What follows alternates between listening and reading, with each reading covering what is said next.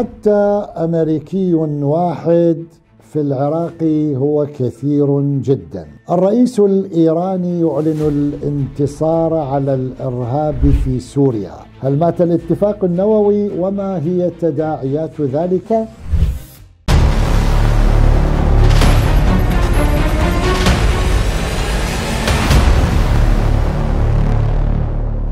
الله الرحمن الرحيم السلام عليكم ورحمه الله وبركاته قال الامام السيد علي خامنئي خلال لقائه بالرئيس العراقي السيد عبد اللطيف رشيد الذي زار طهران مؤخرا حتى امريكي واحد في العراق هو كثير جدا هذا الحديث جاء في معرض تحذير السيد الامام علي خامنئي من خيانة وغدر الأمريكيين. وهذا أمر يعرفه الجميع. لكن إن الذكرى تنفع المؤمنين. قال السيد الخامنئي إن الأمريكيين ليسوا أصدقاء للعراق. الأمريكيون ليست لديهم صداقة مع أحد ولا وفاء لديهم تجاه أصدقائهم الأوروبيين. هذول الأوروبيين هم أمريكا موفية لهم؟ حتى وجود أمريكي واحد في العراق هو كثير جدا. طيب كيف تعاطت الولايات المتحدة الأمريكية والكيان الصهيوني مع زيارة الرئيس العراقي عبد اللطيف رشيد إلى طهران؟ ولماذا هذا الخوف من التقارب العراقي الإيراني الذي يأتي بالضرورة بسبب وجود قوات أمريكية في المنطقة. والإيرانيون يعني على مر التاريخ لديهم موقف من التواجد العسكري الأمريكي الأجنبي بشكل عام في المنطقة. هم يعرفون جيدا والمنطقة جربت أن الوجود العسكري الأمريكي وعموما الوجود العسكري الغربي في المنطقة لا يأتي بالأمن على الإطلاق للمنطقة. وشفنا خلال الفترة الماضية الحروب معظم الحروب الرئيسية التي شهدتها المنطقة هي بسبب وجود القوات الأجنبية والقوات الأمريكية. الأمن لا يأتي ابدا ابدا عن طريق الولايات المتحدة الأمريكية، لهذا من من من واجب من يحب العراق ويريد أن يقدم النصح للعراق أن يحذر من أن الوجود العسكري الأمريكي في العراق هو دائما أو في المنطقة عموما هو دائما يأتي بالمصائب وبالويل والثبور وعظائم الأمور.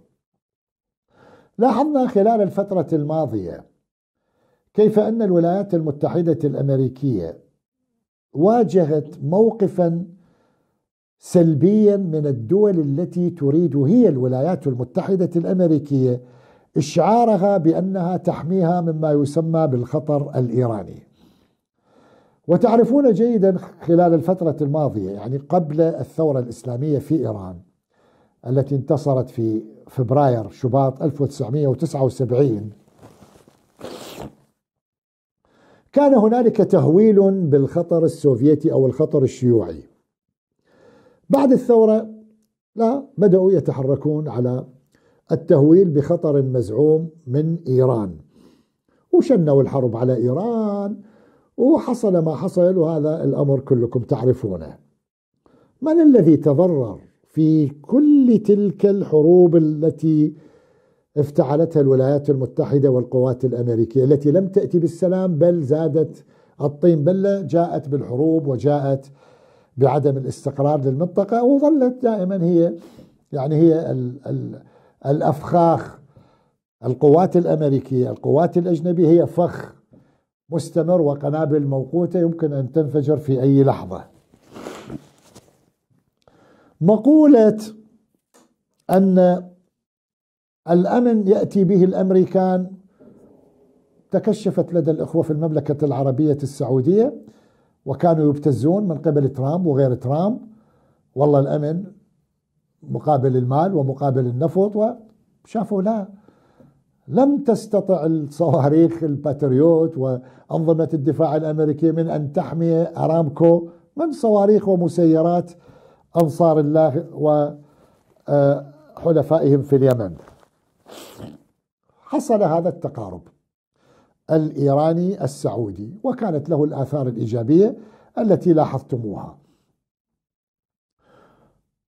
الآن المملكة العربية السعودية التي كانت تتحفظ على عودة سوريا إلى الجامعة العربية هي التي تقود عملية التطبيع العربي مع سوريا. ذهبوا في الأردن وعقدوا اجتماعا في الأردن قبل أيام. وزراء خارجية العراق طبعا حضر. ولأول مرة يحضر وزير خارجية سوريا ووزير خارجية السعودية وطبعا الأردن. وحصل هنالك حديث عن وضع جدول زمني لإعادة سوريا إلى الجامعة العربية بالرغم من أن سوريا ما محتاجة الجامعة العربية. ماذا حصل؟ أرسلت الولايات المتحدة الأمريكية دبلوماسية أمريكية كبيرة هي السيدة بربارا ليف. نائبة أو مساعدة وزير الخارجية لشؤون الشرق الأدنى ذهبت إلى الأردن وبعد ذلك ذهبت إلى العراق حتى تحاول أن تؤثر أن تضغط أن تمارس ما تستطيع أن تمارسه من ضغوط للملمة على الأقل إيجاد سيناريو أو إيجاد تخريجة لكيفية عودة سوريا إلى الجامعة العربية برئاسة الرئيس بشار الأسد. يعني سوريا ورئيسها بشار. لأن الولايات المتحدة الأمريكية كانت تريد إسقاط الرئيس بشار. وهذه الدول العربية التي دعمت ما يسمى بثورة الثورة السورية أيضا كانت تعمل على هذا المنوال. هذه كلها أجهضت. هذه كلها أجهضت. ولو تعرفون شنو من هي بربارة ليف؟ بربارة ليف أحبائي كانت في عهد الرئيس الأمريكي الديمقراطي باراك أوباما في العام 2014 بيدها ملف ما كان يعرف بالثورة الملونة. في أوكرانيا وأسقطوا نظام ديمقراطي منتخب في أوكرانيا. بربارا ليف قادت مع الناتو هي عملية إسقاط النظام الديمقراطي في أوكرانيا وأوجدوا أوكرانيا هذه الحالية التي أصبحت مخلب قط في خاصرة روسيا. نفس الشيء تريد تشتغل في العراق. هذا واحد من أهدافها وعموما أهداف الإدارة الأمريكية ليست فقط بربارة ليف أهداف كل عموما كل الإدارات الأمريكية السابقة حتى في عهد ترامب عندما شاهدنا الأمر فيما سمي بثورة تشرين لإيجاد أوكرانيا في العراق أو النموذج الأوكراني في العراق لإيذاء إيران. وهي نفس بربارة ليف التي اعترفت يوم التاسع من آذار الماضي قبل يوم واحد فقط من إعلان اتفاق بكين بين السعودية والإيران وإيران قالت شجعنا شجعنا يعني الصاغرين يعني الأمريكان مهزومين. وهي زيارتها للعراق وزيارتها للأردن محاولة للملمة محاولة للخروج بوجه شوي ها يعني هزيمة شوي يزوقوها تزويق. تقول شجعنا هذا قبل يوم من إعلان اتفاق بكين. شجعنا الحلفاء في الخليج على التحدث مع إيران. ليش؟ مو أنتم تريدون إسقاط النظام الإيراني؟ مو أنتم سويتوها بنفسها؟ هي بربارة وغير بربارة. ما يسمى بثورة الحجاب في إيران. ومظاهرات واضطرابات وأسلحة تروح وأسلحة تجي وسيناريو القتل وزعزعة الأمن. شنو اللي صار؟ صار هو أنه يعترفون بالهزيمة هذا عصر الهزائم. بالنسبة للولايات المتحدة الأمريكية لكن مع كل ذلك فإن آية الله العظمى السيد الإمام علي خامنئي مع كل ذلك وهو يعرف جيدا أن هذا هو عصر الانتصار والعراق يدرك ذلك جيدا أن هذا هو عصر الانتصارات. جندي واحد جندي واحد مقاتل طبعا أمريكي في العراق هو كثير. هذا الأمر أثار رعبا هذا مجرد هذا التصريح أثار رعبا حتى في الكيان الصهيوني. تيجي صحيفة جيرالوزم بوست على سبيل المثال تكتب؟ تعليقا على ما قاله القائد السيد علي خامنئي مع الرئيس العراقي. إيران تصعد خطابها المعادي للولايات المتحدة في العراق. هو هو داز عليكم. ستة آلاف ميل اتجاه لهناك منك لهنا إلى العراق وبعدين في العراق. هذه قواتك تقتل قائد إيراني وقائد عراقي وتشكل خطر وعبء على أمن المواطنين. وتجي تقول لي إيران تصعد خطابها المعادي؟ لا. إيران تتحدث بهذا الواقع. تقول هذا الوجود العسكري الأمريكي في العراق يؤذي العراقيين. وفعلا شفناه إحنا قائدنا أبو مهدي المهندس عراقي فقدنا قائد بمستوى أبو مهدي المهندس وغيره وغيره من هذه القوات. فإذا وجود هؤلاء ولو جندي واحد يشكل خطرا على أمن العراقي قبل أن يشكل خطرا على أمن إيران والمنطقة عموما. هو هذا اللي دفع بالمملكة العربية السعودية إلى التقارب مع إيران. وهذا هو الذي دفع المملكة العربية السعودية إلى أن تتنازل من كونها هي العنصر الفاعل في الحرب العبثية في اليمن. هذا العدوان اللي استمر أكثر من ثمان سنوات لكي تقول أنا الآن أقوم بدور الوسيط بين اليمنيين. ما يخالف هذه مرحلة جيدة بغض النظر عن تداعياتها بالفعل على أرض الواقع لكن هذا يكشف لك أولا أن الولايات المتحدة الأمريكية لا تحمي حلفائها الأوروبيين تخذلهم كما قال السيد الإمام علي خامنئي. وخذلتهم وخذلتهم. هسه تشوف هاي مسألة أوكرانيا؟ يشكون الأوروبيين يشكون. الألمان البولنديين الفرنسيين. يقولون بس بعد تعبنا من هذه الهيمنة الأمريكية. تورطنا وتقاتل أمريكا بآخر جندي أوروبي بآخر جندي أوكراني الآن. يلا إذا يريدون يسندون أوكرانيا هو ليش ما يروحون يبعثون قوات كما فعلوا وأرسلوا قوات إلى العراق؟ وكما فعلوا وأرسلوا قوات إلى أفغانستان. كلام المرشد القائد السيد علي خامنئي هو بشارة خير لكم أيها العراقيون. ابقوا معنا.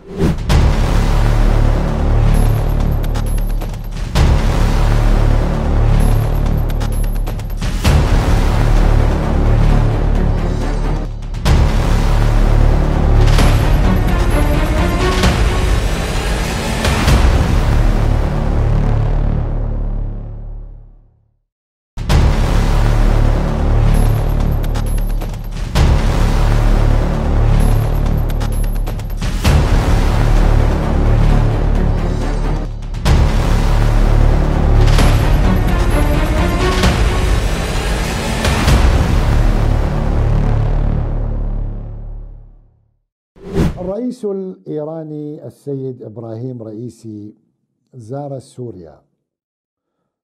مجرد هذه الزيارة بعد 12 عام لزيارة يقوم بها رئيس إيراني إلى سوريا بهذا المستوى وفي هذا الظرف بالذات. يعني هو إعلان رسمي للانتصار انتصار الإرهاب المقاومة على الإرهاب ومن سوريا. طبعا قبل ذلك تعرفون جيدا ونحن ناقشنا هذا الأمر أمين عام الجامعة العربية اعترف علنا على الهواء. قال خمس ست سنوات قبل الحرب عسكريا حسمت لصالح سوريا.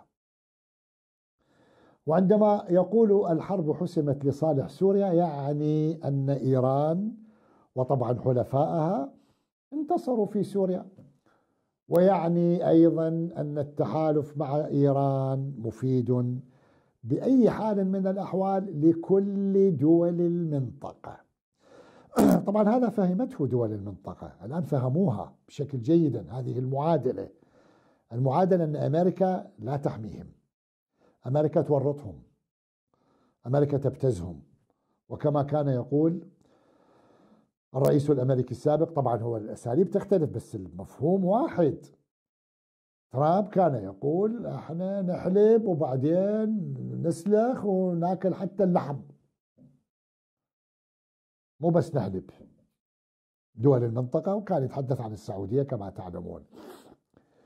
هسه الكل يعترف بأن الحرب عسكريا على الأقل انتصرت فيها سوريا وانتصرت فيها إيران وانتصرت فيها روسيا. في سوريا طبعا وانتصرت فيها قوات حزب الله وانتصرت فيها قوات الفاطميون الأفغان وانتصرت فيها قوات العراقيين المتطوعون الذين ذهبوا إلى سوريا. انتصر الحق انتصر السلام انتصر أولئك الذين راهنوا على أن ما يسمى بثورات الربيع العربي هي سيناريوهات فاشلة. يراد منها تهديم الدول تحطيم الدول وخصوصا الدول التي تعتبر في مواجهة أو في الخط الأمامي لمواجهة المخططات الصهيونية تحديدا. أقول مع كل ذلك مع كل ذلك الكل يعترف بأن الحرب خلاص حسمت في سوريا يجي تقرير لل BBC English BBC باللغة الإنجليزية. مع ملاحظة بي بي سي تعاني من أزمة تعرفون إخواني هذه المؤسسة الضخمة. مؤسسة ضخمة كبيرة حتى قبل أيام استقال رئيس هذه المؤسسة المدير التنفيذي لهذه المؤسسة. عندهم مشاكل كثيرة وعندهم فساد وعندهم تخطي للقانون وحدث ولا حرج. مع كل ذلك بي بي سي خرجت حتى عن الحيادية المزعومة التي يغلفون بها سياساتهم. معايير هم واضعيها لأنفسهم بس هي كلها فضحتها وكشفتها التطورات التي شهدتها المنطقة خصوصا فيما يتعلق بسوريا وأيضا ما يتعلق بما يسمى بثورة الحجاب في إيران. وشفنا شلون تعاطت الام بي سي خاصة باللغة الفارسية مع تلك الأحداث ولا تزال بعين سوداء و بكذب مفضوح تيجي ال MBC ال BBC باللغة الإنجليزية إيش تكتب؟ تقول هل ستنتهي الحرب؟ لماذا استمرت الحرب السورية 12 عاما؟ هذا العنوان. بعدين تتحدث عن يعني وجهة نظرها حول هذه الحرب وشلون صارت الحرب الداخلية في هم الآن بدوا يعتبروها حرب أهلية بينما هو حرب الإرهاب ضد سوريا. لماذا استمرت الحرب السورية 12 عاما؟ وشوي تحاول يعني تزوق الأمور تقول حتى قبل بدء الصراع وهذا مو صراع هذه مؤامرة وتم الكشف عن تفاصيلها وحكوها حكوها القطريين حكوها وحكوها حتى السعوديين وبيناتهم من قالوا الفريسة وشافت شافوا الخلاف حول الفريسة والفريسة نفذت بالنتيجة اعترفوا بأنهم تدخلوا في سوريا لإسقاط دولة الرئيس بشار الأسد يعني إسقاط المحور الأساسي أو الخط الأمامي في مواجهة الكيان الصهيوني تدمير الجيوش تدمير الجيش العراقي كما حصل بالمناسبة في مثل هذا الشهر من العام 2003 آه، أصدر بريمر قرار حل الجيش العراقي وقبلهم ضربوا الجيش العراقي وعندك الجيش المصري آه، أرادوا تحييده بعد معاهدة كام ديفيد. وهذا المشروع الصهيوني الكبير آه، إيران لازم تشغلها بالداخل وتستهدف قواتها العسكرية والأمنية. ودائما تلاحظون دائما الآن في الوسائل الإعلام في العقوبات الحشد الشعبي في وسائل الإعلام مستهدف الحرس الثوري مستهدف لأنهم يخشون من وجود قوات عقائدية بإمكانها أن تشكل خطرا على الكيان الصهيوني. عفوا. يقول حتى قبل بدء الصراع كان العديد من السوريين يشكون من ارتفاع معدلات البطالة والفساد وانعدام الحرية السياسية. في عهد الرئيس بشار الأسد الذي خلف والده حافظ بعد وفاته عام 2000 ما يريد يقر البي بي سي الإنجليزي ما تريد تقر بالهزيمه وبالفشل؟ تقول يا يعني هو كان أكو موجود فساد وهذا يبرر. في مارس 2011 اندلعت مظاهرات بين قوسين مؤيدة للديمقراطية في مدينة درعا الجنوبية.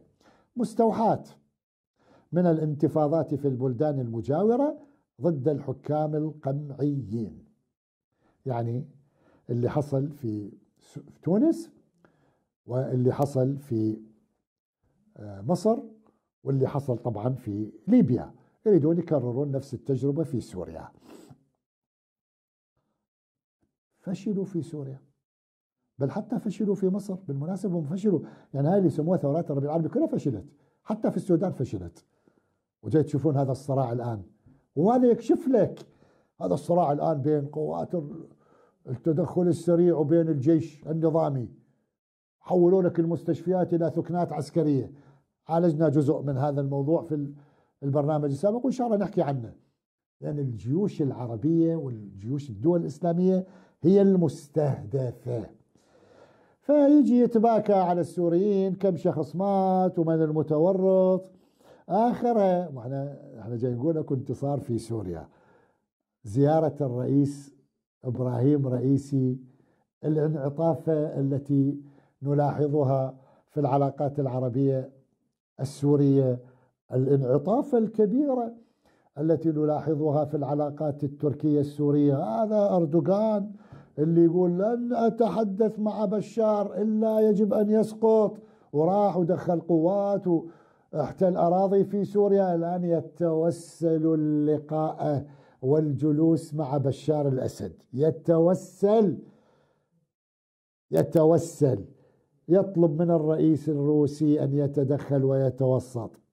وطلب من الرئيس الإيراني إبراهيم رئيسي أيضا أن يتوسط ويقول لك أنا مستعد لأي شيء.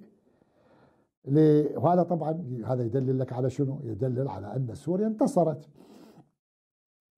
في نهاية هذا التقرير هل ستنتهي الحرب؟ هنا المربط مربط الفرس.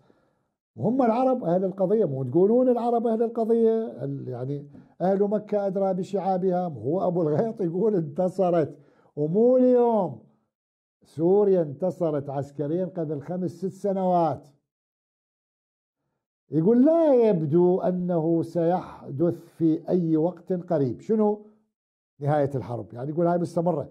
طبعا هذا أيضا يكشف لك أنهم هم لهم نوايا يريدون استمرار هذه الحرب. لكن الجميع متفقون على أن الحل السياسي مطلوب. غير أنتم لا تدس يجب أن لا تدسوا أنوفكم في الأزمة السورية. أنت إذا ما دسيت نفسك يا أبو ناجي في الأزمة السورية لا لا الأزمة السورية ستنتهي سياسيا. ستنتهي سياسيا وهذا شأن سيادي سوري. فشلت تسع جولات من محادثات السلام بوساطة الأمم المتحدة لأنه بدأت بالمناسبة يعني هاي بدأت المحادثات في جنيف منذ العام 2013 وبعدين صار مسار أستانا كما تعلمون اللي تشارك فيه إيران وتركيا وروسيا لحل الأزمة سياسيا. بس من اللي عرقل تعرفون هو كان يفترض أيضا أن ينتهي هذا الصراع السياسي في العام 2020 تدرون لو ما تدرون عندما كان القائد الشهيد قاسم سليماني موجودا في سوريا وكان قد اتفق مع الحلفاء باقي الحلفاء على تحرير باقي الأراضي السورية وخصوصا إدلب ولينتقلوا إلى مرحلة التفاهمات. ليس فقط في سوريا بل حتى على صعيد العلاقة الإيرانية السعودية. وتعرفون جيدا آنذاك كان السيد عادل عبد المهدي قام بدور وساطة وجاء القائد قاسم سليماني إلى العراق يحمل وجهة نظر الجمهورية الإسلامية نظام الجمهورية الإسلامية. حول المقترحات التي نقلها السيد عادل عبد المهدي من السعوديين وكان يفترض أن ينتهي الأمر. وأيضا حتى طبعا انعكاسات هذا الأمر على اليمن كما تعلمون. شنو اللي صار؟ الأمريكان بدفع من الكيان الصهيوني قتلوا القائد الشهيد قاسم سليماني وأبو مهدي المهندس وعرقلوا هذا المشروع مشروع الانتصار السياسي الذي هو تحقق بالفعل وإن شاء الله ستشهد الأيام القليلة القادمة. المزيد من الانتصارات ليس فقط في الموضوع السوري بل في حتى إن شاء الله في موضوع الأزمة في اليمن طبعا والأزمة أزمة الفراغ الرئاسي في لبنان. ابقوا معنا.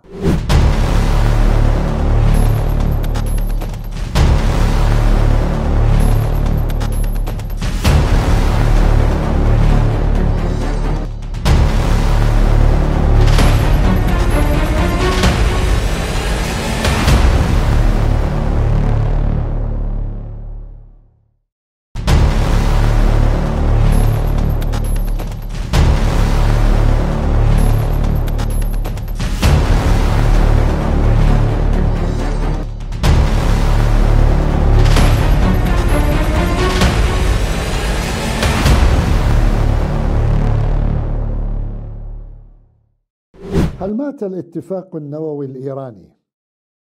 وما هي تداعيات ذلك بشكل عام على المنطقة وعلى العراق طبعا؟ لأن العراق أيضا يتأثر تاثرا كبيرا إذا مات الاتفاق النووي الإيراني.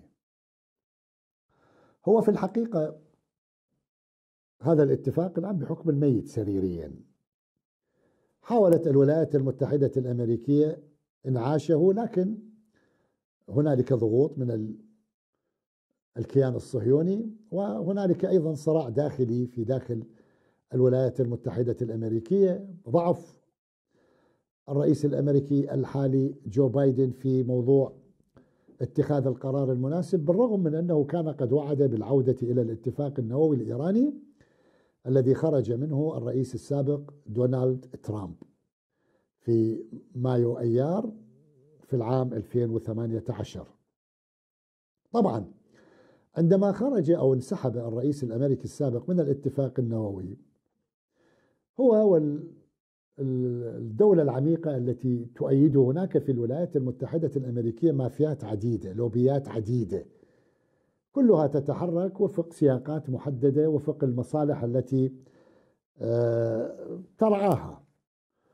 أحيانا يريدون الاتفاق أحيانا ما يريدون الاتفاق حسب الوضع اللي هم. وهاي ماكو مال الأمريكان يخططون مال 100 سنة ترى هذه أكذوبة. نعم يخططون لسنوات قادمة لأن أكو غرف تشتغل. غرف التفكير ويفكرون ويكتبون ويحجون. لكن مو دائما حساباتهم تجي مضبوطة. وفي الكثير من الأحيان خصوصا الولايات المتحدة الأمريكية آه، تأتي يعني حساباتها غير متوافقة مع السياسات التي ترسم. فمن البداية هم لأنه اللوبي الصهيوني مؤثر جدا جدا جدا في الولايات المتحدة الأمريكية. أكو لوبي السلاح أكو لوبي المال البنوك الأموال. بس هذا اللوبي الصهيوني متغلغل حتى وبالرغم من أن عدد اليهود الصهاينة طبعا في الولايات المتحدة الأمريكية مو ذلك العدد الكبير. يعني لا يستطيعون أن يؤثروا في المعادلة الانتخابية على سبيل المثال عدديا لكنهم يؤثرون من حيث القوة التي يمتلكونها خصوصا فيما يتعلق بالمال. وهم لديهم نفوذ في بقية اللوبيات. هؤلاء عندما انسحب ترامب من الاتفاق النووي نصحوه بأن يفرض المزيد من العقوبات على إيران. واستخدم سياسة ما سماها بالضغط الأقصى. فرض أكثر من 1500 من العقوبات. ليش؟ هو يعرف جيدا وهم يعرفون جيدا خصوصا الكثير من هذه العقوبات هي مكررة. هذه لا تؤثر. يعني العقوبات حتى إحنا جربنا يعني مع كوبا على سبيل المثال أكثر دولة يعني تعرضت للعقوبات قبل إيران كوبا وبعد ذلك العراق في زمن الرئيس رئيس النظام السابق الدكتاتور صدام حسين. العقوبات لا تسقط الأنظمة ابدا. الأنظمة تتكيف مع العقوبات بالعكس كوريا الجنوب الشمالية. أصبحت دولة نووية صاروخية بالعقوبات. فرضت العقوبات عليها انسحبت من معاهدة الحد من الانتشار النووي عام 2003 فرضت عليها أوف جمل حزم من العقوبات. شنو النتيجة؟ هسه واحد يتحارش بكوريا الشمالية. إيران مو بس فرضت عليها عقوبات. إيران فرضت عليها عقوبات وفرضت عليها حرب. وحركوا جيوب انفصالية. تذكروها كل الأمور يعني. معيد الثورة. كردستان وخوزستان وسيستان وبلوشستان. أوف. هذه حتى هذه يعني مع إيران. أنا أقول عقوبات بدون حروب لا تسقط الأنظمة. العراق شفتوا لولا التدخل العسكري المباشر ما سقط نظام صدام. ليش؟ لأنه العقوبات ما تسقط الأنظمة. إيران جربوا الحرب وخلوا صدام ينحرب ووقف وراء الشرق والغرب. ما سقط النظام. بالعكس إيران أصبحت دولة صاروخية تمتلك قدرات عسكرية هائلة بسبب الحرب. ومع العقوبات تتكيف. تتكيف بشكل كبير. وسوت اقتصاد مقاوم. نعم أكو تأثيرات. القدرة الشرائية تقل قيمة الدولار مقابل قيمة الريال الإيراني تصعد. هذا أمر طبيعي. بس في دولة مثل إيران وفيها شعب مثل هذا الشعب الإيراني العظيم الذي بشر به القرآن والرسول صلى الله عليه وآله وسلم وهو من الممهدين لظهور الإمام الحجة ابن الحسن العسكري عجل الله تعالى فرجه الشريف. فالعقوبات تصنع بالعكس. إيران تحول التهديدات إلى فرص دائما. وبالذات الإيرانيين أصلا هم يقولون يقولون نحن إذا نسترخي ما ننجح. بس مو يفرضون علينا عقوبات ويفرضون علينا تحديات مثل التحديات التي شهدتها ايران في الفترة الماضية. آه تظاهرات ومظاهرات ومهسا أميني وسيسقط الثوره إيران تحترق. شنو اللي صار؟ روحوا شوفوا إيران وروحوا شوفوا فرنسا وألمانيا هذين الدولتين وهاي بريطانيا اللي أنا عايش فيها. هذين الدول التي حرضت على مظاهرات إيران والجوع في إيران هنا مظاهرات الجوع. هنا في في بريطانيا وفي الغرب عموما خرجت مظاهرات اسمها مظاهرات الجوع. تدرون لو ما تدرون. شنو النتيجة؟ من الذي مارس القمع مع شعبه؟ إيران أم فرنسا؟ إيران أم بريطانيا؟ التي قال رئيس الوزراء يخاطب قادة الشرطة قوموا بكل ما تستطيعون لقمع. استخدم كلمة قمع. الاحتجاجات لأن الأمر يتعلق بالأمن القومي وأمن المواطنين والساكنين. هكذا تفسيرهم. طيب. هسه إحنا نجي نقول نفترض هذا الاتفاق النووي لن يعود. مندوب روسيا الدائم لدى المنظمات الدولية في فيينا السيد ميخائيل أوليانوف قال قبل أيام تصريحا لافتا ومهما. قال يبدو أن الولايات وهو طبعا ينقل تحذيرا هنا. يبدو أن الولايات المتحدة ومجموعة الدول الثلاث الترويكا بريطانيا فرنسا ألمانيا اللي متورطة متورطة في داخلها. عندها أزمات داخلية خطيرة. اختارت إفشال خطة العمل الشاملة المشتركة اللي هو الاسم الرسمي للاتفاق النووي. وقال لهم بكل وضوح قال لهم إذا فشلت هذه الاتفاق هذا إذا فشل هذا الاتفاق ولم يعد إلى الوجود فأنتم من سيتحمل العواقب. والعواقب كثيرة.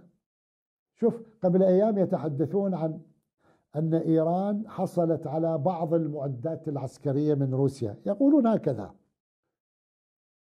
ولاحظت في التقارير الغربية الخشية من شنو؟ يقولون نخشى وهذه المعدات غربية ها. يعني روسيا استولت على معدات عسكرية غربية. زودت بها أوكرانيا وأعطتها للإيرانيين. التقارير الغربية أقول.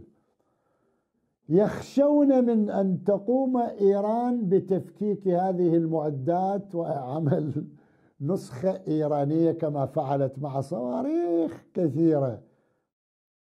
والآن إيران مو بس تزود روسيا كما يقولون ها أنا مو أنا اللي أتحدث.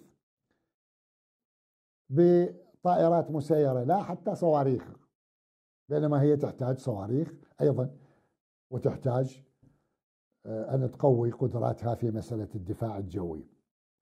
عموما هذا التحذير الذي أطلقه أوليانوف جاء لأن وردت معلومات للإيرانيين أن هذه الدول الثلاث طبعا بدفع من أمريكا ألمانيا فرنسا بريطانيا تريد بحجج واهية ليست موجودة على الأرض تفعيل أكو آلية بالاتفاق النووي اسمها آلية سناب باك يعني الإصبع على الزناد. يعني العودة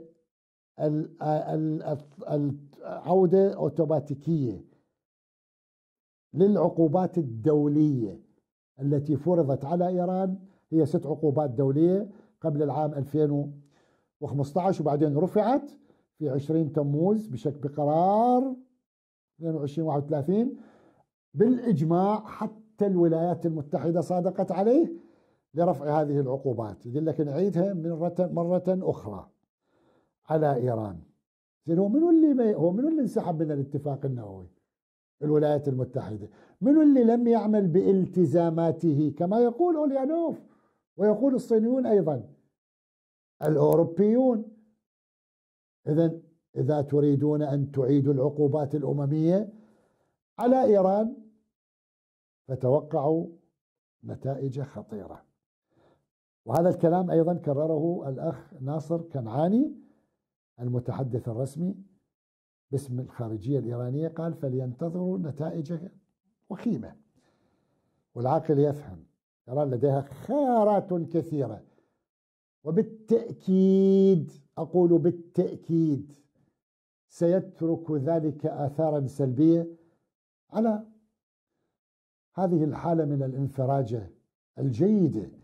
التي تعيشها المنطقة في لبنان في سوريا في العراق في اليمن. الكل سيتضرر.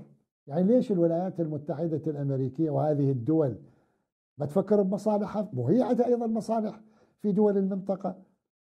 والاتفاق النووي كما كان يعبر الرئيس الإيراني السابق آنذاك الشيخ حسن روحاني عندما أبرم أبرم على قاعدة كلنا رابحون. ربح ربح. إذا أكو خسارة لازم كلنا نخسر مو بس إحنا علي وعلى أعدائي. في الله